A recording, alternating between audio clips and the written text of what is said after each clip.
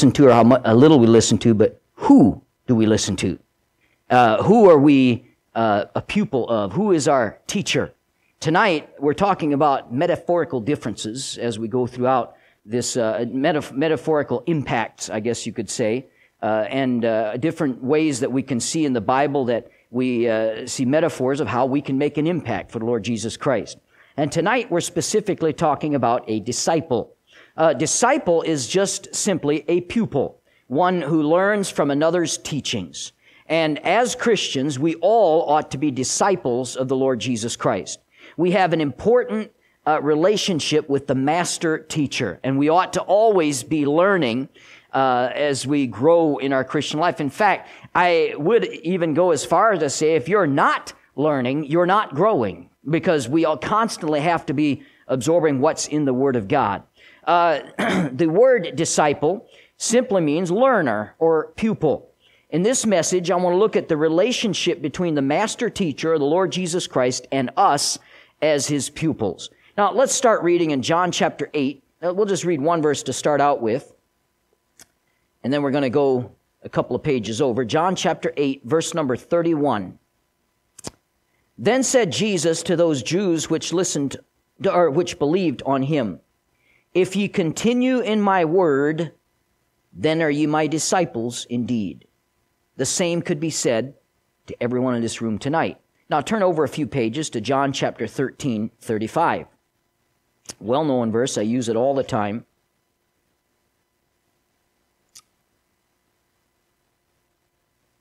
By this shall all men know that you're my disciples, if you have love for one another. Now, a lot of churches, I, I grew up in some really strict churches in, in uh, Christian school and, and whatnot, and you know, we had, I, I grew up in a church that strongly preached against any woman wearing slacks and and uh, strongly preached against a lot of things, and and, uh, and, which, by the way, I'm all I'm all for any kind of those standards. That's a blessing. Uh, but the uh, the interesting thing is, a lot of churches, in my experience, have added something different to the last part of that verse. By this shall all men know you're my disciples if you dress this way, or if you act this way, or if you don't listen to that, or if you look like this. That's not what Jesus said. He said, if you have love for one another. And that's really the most important thing for us. We want to be his disciples, and tonight we're going to talk about that, about being a disciple of the Lord Jesus Christ and some of the things that are involved in it. We ask you, Father, to help us tonight as we look at this uh, and other texts. May we be uh, found in the end here a faithful disciple of you. We pray in Jesus' name. Amen. The, in the story about Mary, Martha, and Lazarus, we find that his sisters, Lazarus' sisters, demonstrated two different types of disciples. Uh, they both loved Jesus. They both uh, loved to be around him. They both thought the world of him. They were dear friends of Jesus, but they reacted to him in a different way. You remember Martha was bustling around, preparing and working. She was the worker bee. And then you had Mary that was sitting at the feet of Jesus, ah, just listening. Uh, there's a place for both. If you want somebody to be your wedding organizer, you're not going to pick Mary. You're going to pick Martha.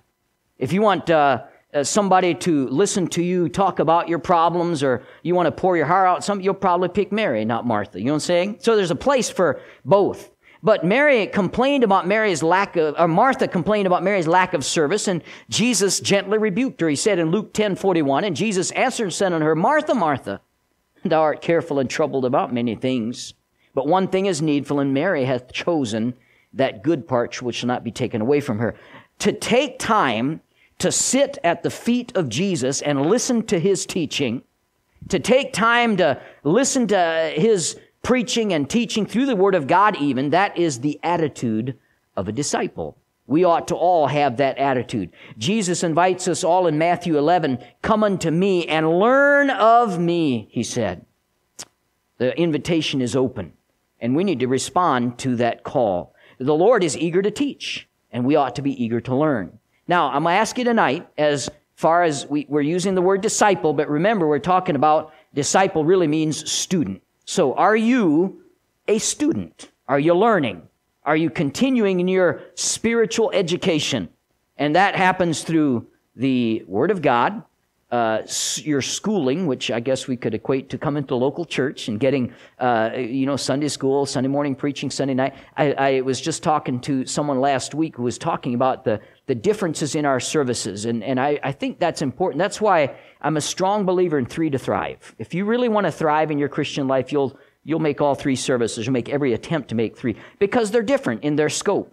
On Sunday morning, I always call that the marshmallow message. All right, we have uh, it's a little bit lighter uh, as far as that goes, and and uh, it, it, because it's you have visitors, you have unchurched people that come in. We don't use quite as many churchy terms uh, in the preaching on Sunday morning. Uh, you'll notice usually I don't use the word term saved much on Sunday morning in the messages because to a lost person, what does it mean to be saved? Saved from what? You know, I was saved from drowning when I was seven. Does that count? Uh, we don't, that's a church term that we understand. And so uh, we call it being you know, being a Christian, calling on Christ to be our Savior, try to define some of those terms. But then Sunday night's a little bit different. We get a little bit uh, deeper in some of the teaching. We uh, are more local church oriented on Sunday night. And then on Wednesday night, we constantly do a character study, and that's where we dig uh, pretty deep in the scriptures there. So uh, I encourage you to be a part of all, as uh, I know I'm preaching to the choir because you're here. Amen? So that's a good thing. But uh, I'm simply saying we ought to be students. We ought to be students. Now, number one that I want to talk about tonight, the disciple is called. A disciple is called. Jesus had many disciples, but he had 12 that he specifically called and specifically chose to teach on a more intimate level. Now, I want to think about Jesus' ministry. When Jesus fed the 5,000, we know it was 5,000 men and their families, so it's probably more like 15 to 20,000, but uh, we'll use the term, the, when Jesus fed the 5,000, only 500 followed him after lunch. Did you ever read that in your Bible? And then he had only 12 disciples that followed him uh, a long time after that. Only three went with him into the garden, and only one stood with him at the cross. Now, the implication there is clear. The closer you get to the cross, the smaller your crowd becomes. The more difficult Christianity becomes it trims out the crowd. I was doing some reading recently about what has hurt the church in the 21st century and 20th century, 21st century. And uh, I, one man made a statement that I really thought a lot about. And he said, popularity has done much more to hurt Jesus Christ church than persecution ever did. Persecution made the church thrive. It purified it. It expanded it. And the church did wonderful under persecution. Popularity, though, pollutes the church. And it's an interesting concept. That's not an area I was going to go into tonight, but that's a great thing to think about. But we are called. Now, the calling of the 12, uh, even though we see that, that uh, as Jesus got closer to the cross, his crowd diminished, we are called to be disciples through thick and thin. And we talked this morning about Peter, and we'll talk about him tonight again a little bit, uh, how he failed when the going got tough. Now, 12, uh, the, the, calling of the 12 applies to us, and it really has two parts involved in it. Number one, to be with him. Turn to Matthew chapter 4. I'm going to have you turn to several scriptures tonight. if you don't have your Bible with you, just listen as I read, but if you do, it'd be great to have you turn with me. Matthew chapter 4 and verse number 18. And Jesus, walking by the Sea of Galilee, saw two brethren, Simon called Peter and Andrew his brother, casting a net into the sea, for they were fishers. And he said unto them, Follow me, and I'll make you fishers of men. And they straightway left their nets and followed him. Answering the call to be a disciple, uh, that means they witnessed firsthand his miracles. They witnessed his meeting the needs of those that no one else could help. They saw him heal the sick and afflicted. They saw him feed the multitudes, calm the raging sea, restore the dead to life. They heard his words of wisdom and they heard his words of rebuke and they heard his words of comfort. In those days, the disciples stayed with Jesus, went with him wherever he went. The Lord, through the person of the Holy Spirit, indwells the Christian and is present with us as well, like Jesus was with his disciples. And he's present with us all the time. Wherever you go, if you're a Christian, if you're a child of God, if you called on Him to be your Savior, eh, wherever you go, He goes. He indwells you. Let me read you a couple of verses. Romans 8 and 9. But ye are not in the flesh, but in the Spirit. If so be that the Spirit of God dwell in you. Now, if any man have not the Spirit of Christ, he is none of his. That verse flies in the face of the teaching that the, the false teaching of the charismatics who say you get saved and then later you receive the Holy Spirit. No, the Bible says if you don't have the Holy Spirit, you're not a Christian. If you're a Christian, you have the Holy Spirit. 1 Corinthians 6:19. Going on here, Verse 11, but if the spirit of him that raised up Jesus from the dead dwell in you, he that raised up Christ from the dead shall also quicken your mortal bodies by his spirit that dwelleth in you. Over and over there, he said, dwells in you. The Holy Spirit indwells every person who has trusted Christ as their Savior. He is always with us, and he desires that we be aware of his presence. And uh, we're called to be with him, and we're blessed to have uh, to know that He's always with us. Yet sometimes we try to compartmentalize our life and keep the Lord out of some areas, don't we? If we're honest. But we need to be conscious, constantly conscious of His presence in our lives. Uh, we're not going to go into an in depth uh, study of the Holy Spirit, but you know the Holy Spirit is called the Comforter, He's called the Teacher. Uh, he convicts, uh, the Holy Spirit comforts or afflicts the comfortable and comforts the afflicted. Uh, Holy Spirit has lots of ministries in our life, and so uh, He is our constant companion. Now, many Old Testament examples uh, uh, are given of people living in the presence of the Lord. The Bible says in Genesis 5 that Enoch walked with God. In Genesis 6, it says that Noah walked with God. And uh, we see Old Testament kings who had the power of God on their life. Living in the presence of the Lord means that sometimes hardships will come. Uh, being a Christian does not exempt us from hardships. In fact, sometimes we have hardships brought into our lives to help us shape and form us into the image of the Lord Jesus Christ. Romans chapter 8, verse 28. Uh, all things work together to those that love the Lord and are called according to his purpose. And then he goes on the next verse. The purpose for those things in our life that work out for good are that he might form us into the image of his son. Jesus said, in Matthew 26, where we read about the Last Supper, there we'll be talking about that next Sunday morning. But he said, Verily I say unto you, one of you shall betray me. All of the disciples, oh no, not me. We won't betray you. Well, at that point, they were asking, who is it? Is it me? They didn't know who it was. They wanted to be faithful to him. We have the same desire as well. Now, the question for you is, do we uh, intend to stay faithful when the going gets rough? I think all of us intend to. But what really is the testing point? What is, uh, we talked about this in discipleship tonight a little bit. What is the deciding factor whether you die for the Lord? You thought about that? What if it comes down? You've read, uh, have you ever read Fox's Book of Martyrs? Whew, you can't read much of that. It'll upset your stomach. Horrible, uh, the people in, in history that have died for the faith. Well, I've, I've asked myself that before. Would I, it came down to what if guys showed up with guns one night and, uh, you know, renounce faith or be, be shot in the face? Would we die for Christ? Well, thankfully, we're not called to die for him. We're called to live for him. and that really is your test right there. If you're not living for him, I can promise you, friend, you won't die for him. And so that's something we ought to remember there. Uh, I'll be faithful. That's easy to say when life's going well, isn't it? Peter said it in the safety of all the other disciples and Jesus there. He said, Hey, I'll never forsake you, Lord.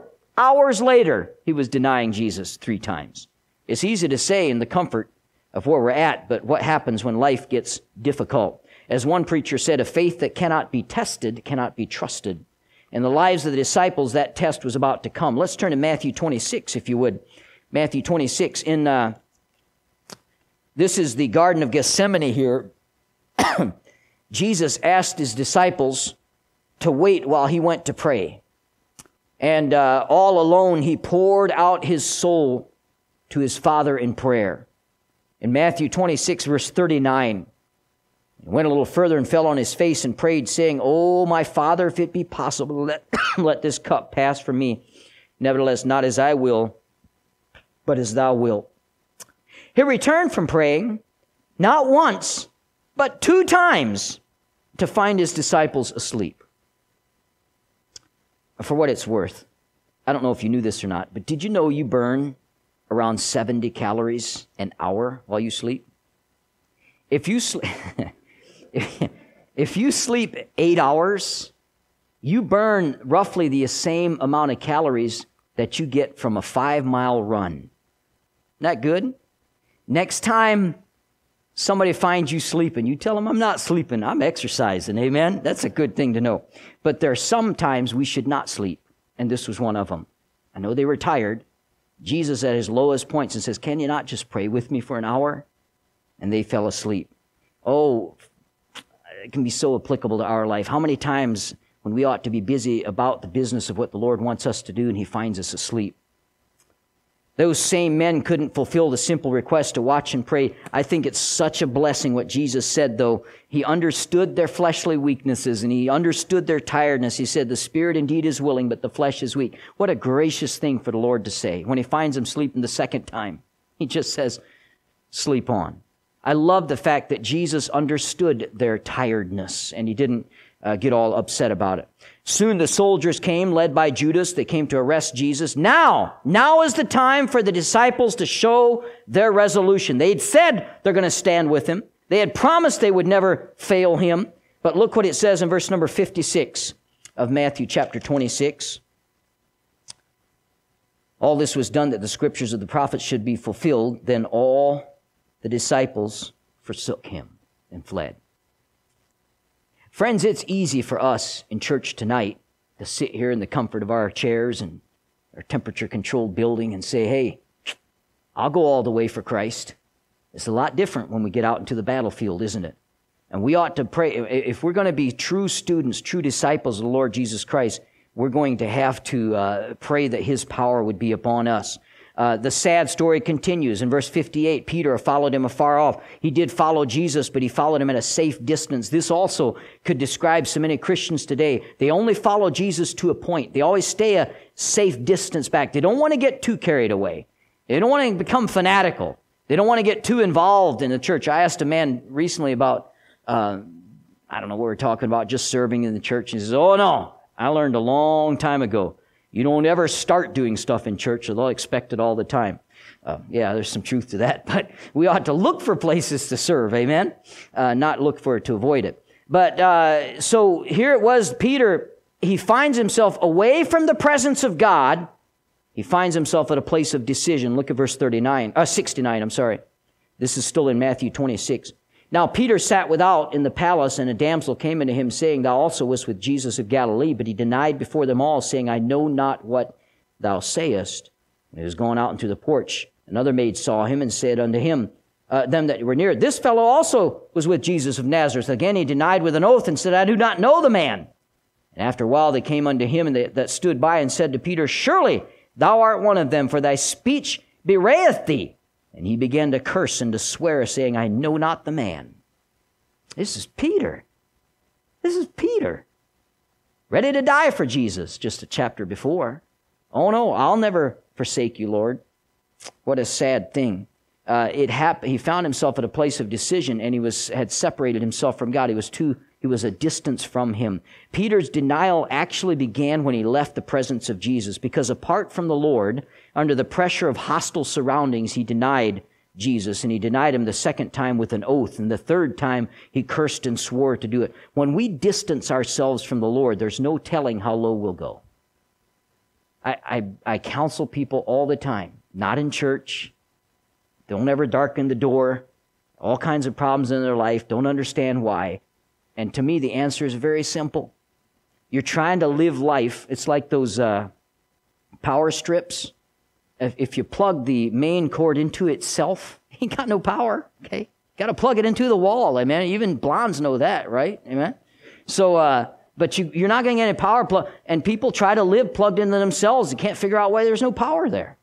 You've got to get yourself close to the Lord. Be faithful to church. Be involved in those things. Uh, be around God's people. Distancing ourselves from God's presence has an effect on our reputation as well. Let me give you another one here. Remember the disciple we call Doubting Thomas? I talked to him about this morning a little bit. He wasn't with the other disciples when Jesus appeared to them. And when was it? When was it, class? It was a Sunday night. Huh? It's important to come to church Sunday night, isn't it? And that's when Jesus showed up. And so uh, he said in John 20, 25, uh, the disciples said, We've seen the Lord. But he said unto them, Except I shall see in his hands a print of the nails, and put my finger in the print of the nails, and thrust my hand into his side, I will not believe. Jesus later revealed himself to Thomas, but Thomas certainly missed a blessing because he wasn't there the first time. As a result, his reputation has been set for all time. There's even a song, Doubting Thomas, why could you not believe? I don't know how the words go. There's songs been made about it, messages been preached about Doubting Thomas. I, I, as I said this morning, I think it's an unfair title. I think he was a lot more than just that one. Uh, but uh, so it was an unfair reputation. But can I ask you, when has a reputation ever been fair? A lot of times reputations are unfair. And so uh, it's unfortunate. He just missed church one time. And it's as a disciple of Jesus, it's important for us to be present with him. And then secondly, to be like him. In Luke 6:40, the disciple is not above his master, but everyone that is perfect shall be his as his master. In this sense, the word perfect means complete, one that is what he ought to be. The disciple is one who's continually becoming more like his master. One of the great blessings of being a Christian is that we get the divine nature of the Lord Jesus Christ. We get, as, as being a child of God, we get his nature. That's a blessing, isn't it? Uh, you've seen yourself as you get older, you see your father in you. I, have talked to people who never met their father, either died young or left when they were very young, and they, they hear all the time, man, you look just like your dad, or you talk just like your dad, even though they've never met him. Why? Because they inherited his nature. We've also inherited a divine nature. We ought to be like our heavenly Father. The disciples of Jesus were like him.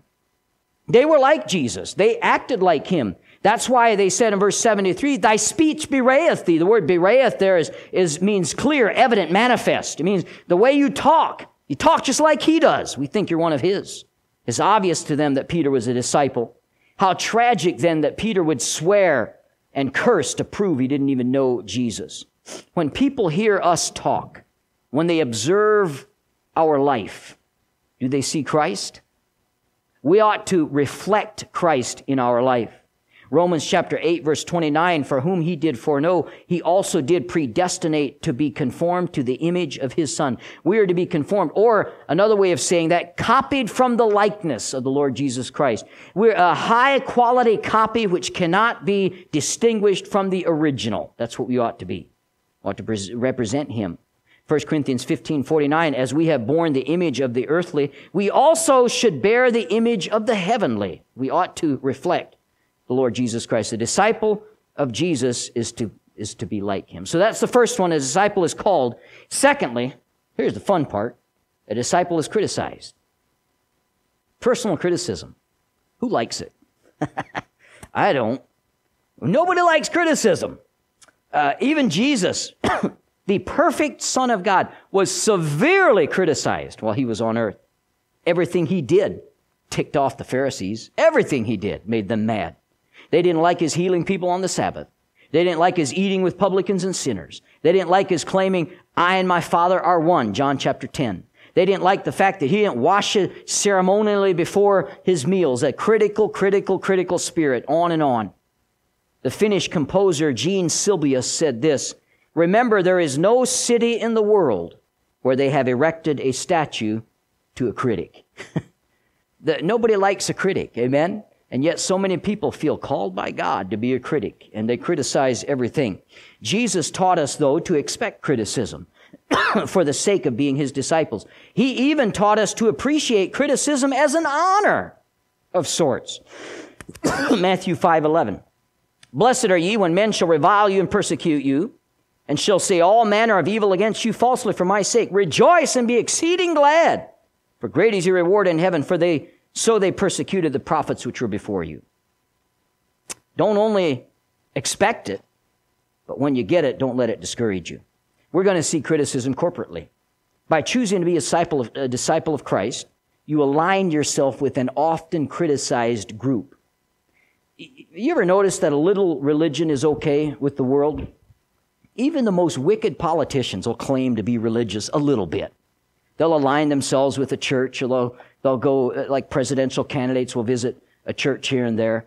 Uh, so a little church affiliation is okay, but if you be a person who genuinely believes the Bible, who attends church, who practices tithing, who prays and expects God to answer those prayers, one who witnesses to others and lives the way Jesus wants you to live, you're an extremist. You're a wacko. You're two fries short of a happy meal. You know what I'm saying? That's the way the world looks at you. Just listen to CNN or don't. You get more of a blessing if you don't, but listen to what the world has to say about Christians today. We see in the book of Acts the persecutions against the early church. Mostly early Christians were persecuted simply because they were members of that group. Acts 8 1, at that time there was a great persecution against the church, which was at Jerusalem, and they were all scattered abroad. And we can relate to that concept. People who tend to judge individuals because of the, uh, and end up stereotyping the groups they belong to. Now, we're going to be criticized. Disciples of Christ ought not be too concerned about their accusations that are leveled at them. We're to be of the world. Uh, I'm sorry, we're to be in the world, but not of the world. John 17, 15. And so criticism is going to happen, not only corporately, but individually too. We're going to be, anytime somebody decides to do something for God, especially if they sell out to God, they're going to be criticized. We have this promise in 2 Timothy 3.12. Yea, and all that live godly shall suffer persecution. Is going to happen. It's a part of it. Living for Jesus will cause you to be criticized, marginalized. There's going to be times that that persecution is personal. You remember Stephen? He was the first Christian martyr in the book of Acts, accused of being a blasphemer. Paul was pointed out individually as a troublemaker. Jason, a, a, man who took Paul in and cared for him, was persecuted because he just cared for Paul and had compassion on him. Naturally, in our life, we'd rather not be criticized. Amen? We don't, we don't like to be criticized. I, I like everybody to like me. But here's a, a piece of advice I saw recently, and I wrote it down. Don't let compliments go to your head, and don't let criticism go to your heart. That's a good thing for both of us, isn't it? Sometimes we allow compliments to make our heads big. Uh, we oughtn't let that happen, or criticism go to our heart. Uh, we allow we allow these things uh, to wound us sometimes, and even even when we realize that criticism is for Christ's sake. I uh, saw a Peanuts cartoon one time. Linus is curled up and reading a book in a chair. Lucy comes up behind him. Lucy's, she's a nasty person. Comes up behind him with a funny look in her face, and she says, It's strange. It happens every time I just look at you. He says, What happens? She answers, I feel a criticism coming on. You Ever felt that way about somebody or knowing somebody like that? They just look at you and they feel a criticism coming on. Well, if criticism comes from the world, understand we're not seeking friendship with the world anyway. The Bible says in James 4 4. By the way, James, I marvel when I read this verse because I think, man, this guy didn't pull any punches when he preached. He says, Ye adulterers and adulteresses, know ye not that the friendship of the world is enmity with God? Whosoever therefore will be a friend of the world is the enemy of God. Be prepared for a world to murmur against you, eh, especially if you insist on being a disciple of Christ. Luke chapter 5 verse 30, but the scribes and the Pharisees murmured against the disciples saying, why do you eat and drink with publicans and sinners? Listen, a critic is a nobody doing nothing criticizing a somebody doing something. Don't let it stop you. It's going to happen in our life. Uh, not only do the, does the world per, sometimes persecute Christians, but other believers do the same thing. In fact, in my experience, I don't know about you, but I've sometimes gotten more criticism from other believers than I have people in the world. Acts 13, 45 gives an example of this. But when the Jews saw the multitudes, they were filled with envy, the, the religious people. They spoke against those things which are spoken by Paul, contradicting and blaspheming. Losing their followers to Paul, then they went after him verbally, criticizing him. There's a Chinese proverb that I like. Let the man who says it cannot be done not disturb the man doing it. Because you're going to, if you're the man doing it, if you get busy for God, you're going to be criticized from time to time. Just be faithful. John Wesley, I love this story. John Wesley was that great English preacher uh, in the 1700s, and he was known to be a spiffy dresser. And uh, one Sunday, he wore a bow tie that had long ribbons hanging down off of it. And after the sermon, and he was standing in the back, and a lady walked up to him and said, Brother Wesley, are you open to criticism? And she, he said, I guess so. What would you like to criticize? She said, The ribbons on your tie are entirely too long, and they're inappropriate for a man of God. She huffed. Then she took out a pair of scissors and snipped them off right there in front of her. True story. So obviously, people around her, hush kind of falls over. Everybody's kind of surprised that somebody would do this to the great John Wesley. And, and in that hush, Wesley calmly said, May I borrow the scissors for a moment? And she handed them to him, and he said, Now, ma'am, are you open to criticism? She answered and said, Well, I suppose I am. He said, All right then, please stick out your tongue. Uh, we're going to, he didn't cut off her tongue. It's just an illustration, okay? But he made his point. Uh, no, none of us like criticism. Amen? And uh, we all like to rather go without it, but just be a disciple. Just be faithful. Just continue being a student. Just do what God's called you to do. And be uh, there's a lot of times we just have to let that criticism fall off our back. Winston Churchill had an Abraham Lincoln quote framed in his office, and this is what it says I do the very best I can. I mean to keep going. If the end brings me out all right, then what is said against me won't matter. If I'm wrong, ten angels swearing I was right won't make a difference. Just serve God. Just bloom where you're planted. Just do what He's called you to do. And uh, follow your master teacher. Don't get sidetracked, and things will work out better. So a disciple is called, a disciple is criticized, and then finally a disciple is commissioned. God has commissioned His disciples some specific tasks. Number one is to learn. Now, think of the opportunity the disciples had, the 12 disciples had, as they followed Christ and learned from him on a daily basis. He explained things to them. Oh, it must have been amazing to travel with Jesus and to hear him.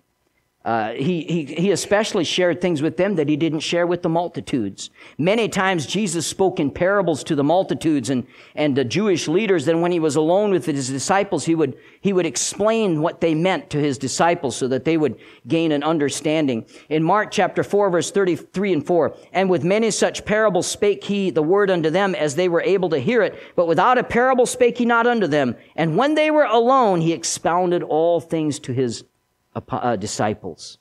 Now, Matthew 13, 16 tells us why he did that. Why he spoke in parables to the crowds and gave these truths to his disciples that he didn't share with others. And this is why.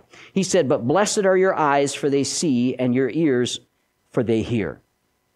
If we're open, if we come to the Bible, if we come to church with an open heart, with a seeking heart, uh, he will gladly teach us from the Word of God. I had a call the other day, and uh, this is the second time I've had this pretty much exact same call, which leads me to think it's probably the same person. But uh, guy called and says, uh, asked to speak to the pastor. I told him, I introduced myself, and uh, he started.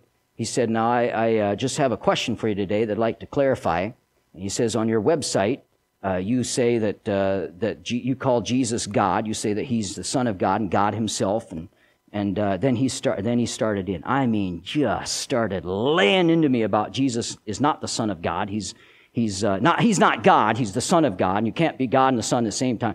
He just started going. It was just uh, you know I worked words edgewise and tried to work that stuff in, try, and every time it was just chop chop. He came very well prepared to be argue. I, am not appreciative of arguers. I don't know. I, I, don't like arguments. It just means, you know, if a guy's a seeker, it's one thing. Uh, so eventually, I uh, hung up on him because he was not looking, he was just looking to start a fight. And uh, he was out of state anyway. And so I, I uh, don't, didn't take much time with that. But that's not how we ought to approach the Bible. Amen? Approach the Bible to learn. Approach the Bible to, with an open heart. Don't approach it with a cold heart, uh, a closed heart. I could have said anything in the world that wouldn't have convinced him because he didn't have an open heart. Many people do not. We need to come to the Bible with an open heart. In Matthew 24, the disciples specifically asked for the meaning behind the prophecies, and Jesus taught the to them. They were seekers. Uh, the Lord never turns away those that want to learn. The disciples were his pupils, and we are called to be his pupils. And their main duty in those three short years of ministry was to learn, to listen, uh, to what Jesus had to say. Before Jesus ascended back to his Father, he made sure to tell his disciples, hey, the learning's not over. I'm going to send you a teacher. That's why he said in John 14, 26, but the Comforter, which is called the Holy Ghost, whom the Father will send in my name, he shall teach you all things.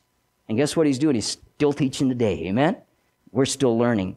Uh, bringing all things to your remembrance whatsoever I've said unto you. The learning process of the disciples never ended, and it shouldn't ever end with us either. All of us should be lifelong learners. I think it's interesting in 2 Timothy 4. I mean, it was just probably days before Paul's death. He writes Timothy, and when he writes him, he says, Bring the parchments and the books. Uh, he was still learning, he was still reading, and he never stopped until the very last day. He was on death row, and he still felt he should study and learn.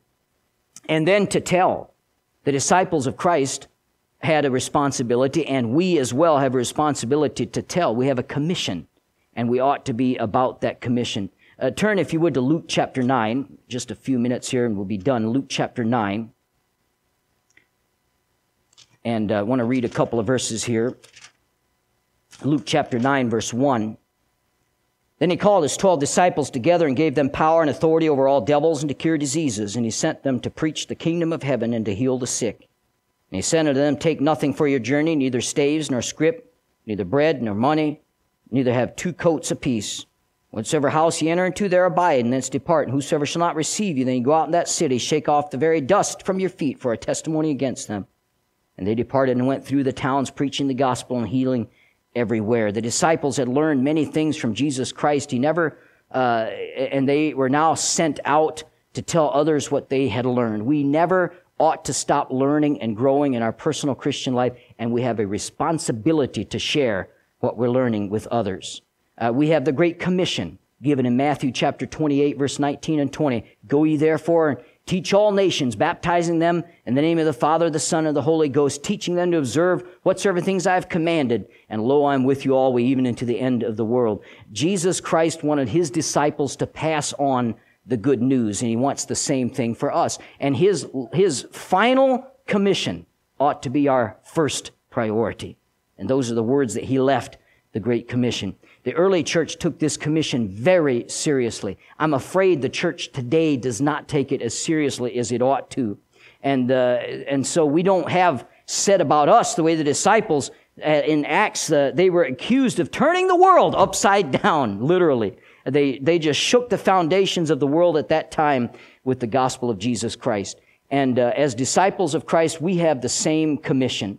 Actually, it's more than that. It's a privilege. We ought to look at it as a privilege. Jesus said in Matthew 10, Whosoever therefore shall confess me before men, him will I confess also before my Father which is in heaven. But whosoever shall deny me before men, him will I also deny before my Father which is in heaven. The word confess here means uh, literally to declare openly, to speak out freely.